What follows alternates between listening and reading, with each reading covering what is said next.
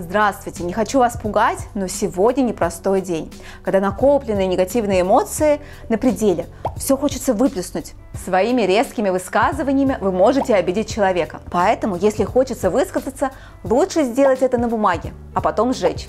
Или поделиться с тем, кто вас поймет.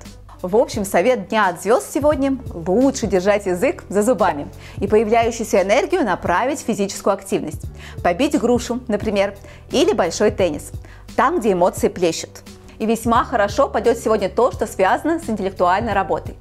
Можно, например, сделать уроки вместе с ребенком. Но помните про вышесказанное – вероятно негативные эмоции. Берегите себя и близких. До встречи!